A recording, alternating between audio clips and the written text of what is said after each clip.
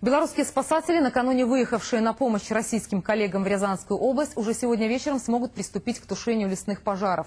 Как заявили в МЧС нашей страны, колонна из 25 машин и 150 человек личного состава примерно равны пожарному гарнизону Рязани.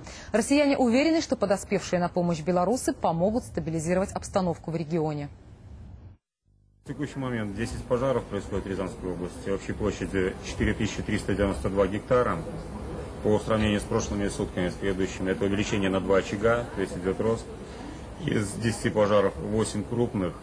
По крупным пожарам площадь 4365 гектаров. По сравнению с прошлыми сутками, это увеличение на 27 гектаров.